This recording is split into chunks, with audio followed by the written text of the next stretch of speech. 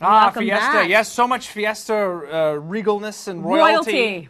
Uh, and hark, I think that we have some royalty mine eyes right hear something here. I believe don't we have think some that's. royalty. uh, Yeah, let's just go over Butchered here and talk. yes, to these two lovely guests here. We'll introduce them. This is Mr. Tamu S.A. S.A. Armando Prado and Miss Tamu S.A. Mary Loredo. Yeah. Yes. Good morning to you guys. both. Good morning. How has it been to be royalty? How are the parties right now? It's really good. It's very um, fun, We yeah. had an event at Market Square for our President's Circle, and El Rey Feo was there, and all these different people from the city. So it was really, really fun.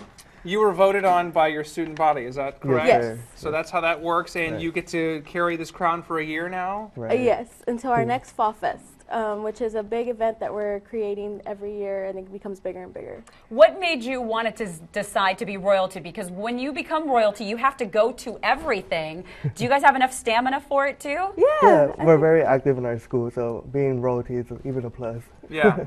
Your campus has really exploded in the last few years. I mean, so many great things are happening Right. there at uh, TAMU USA. Can you just tell us a little bit about what's going on and let people know what's happening over there? Yeah, uh, right now we're actually building our second building. This is our central academic building, which is gonna be our iconic, our iconic building. Um, it's gonna be the building that everybody knows us for.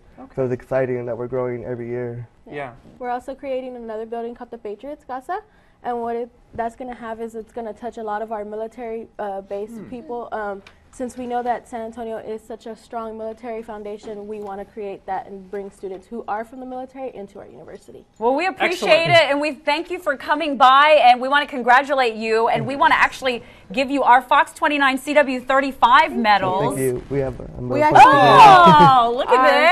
Fantastic. Wow, that's A&M nice. Medal. This is Oh, it's heavy too. this is actually our uh, tower that we have when you come into the university. I like Very it. nice. We'll have to show it up close after we come We will back do that from in the just a little break. Congratulations. It's a Thank pleasure to have you here Thank and you. give our And best to everyone else. congratulations Thank you. again. Oh. Thank you. See you you. guys. Thank you.